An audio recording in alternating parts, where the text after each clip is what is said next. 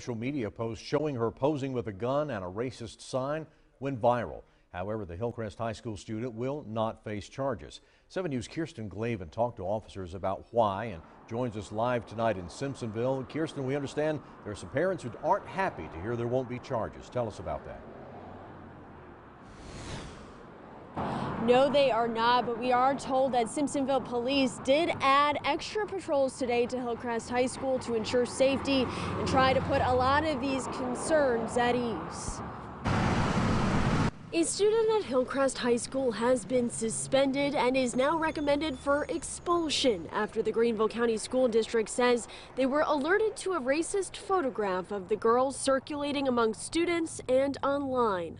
The disciplinary action comes after Simpsonville police say they found no criminal wrongdoing in their investigation, prompting pushback from parents. She threatened people.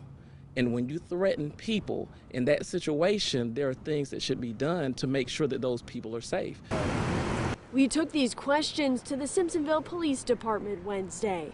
According to Captain Cheryl Manley, investigators were able to question the student Tuesday and found no credible threat or indication that she was going to carry out actions to harm anyone. She says these cases depend heavily on context and if they can identify a clear intent to commit a crime. It goes against um, what people think is, is, right, it goes against people's beliefs, um, and be it inappropriate, and it's not illegal because of the freedom of speech. The photo appears to show the student holding a sign that says, We hang N words for free, and in the other hand is a gun. The Greenville NAACP, in a statement Wednesday, called for expulsion due to the district's zero tolerance policy. Simpsonville police added extra patrols at Hillcrest High School Wednesday as a precaution. That's our biggest concern is the safety of the staff and the students at Hillcrest High School. And that's what we're mainly focused on in a case like this when that kind of social media post is put out there.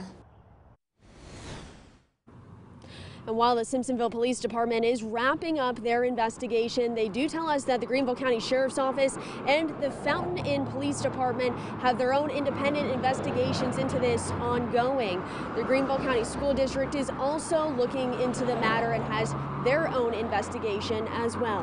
Reporting live in Simpsonville tonight, Kirsten Glavin, 7 News. So, Kirsten, tell us more about the expulsion process and how long that could take. Well, normally when it comes to expulsion, we're told that the Thursday after a student is suspended, there will be a hearing discussing what the expulsion is about. But in this case, we're told it may take longer than the Thursday after, which would be tomorrow. It's uncertain when they'll have that hearing. All right, Kirsten Glavin live in Simpsonville tonight. Thank you, Kirsten.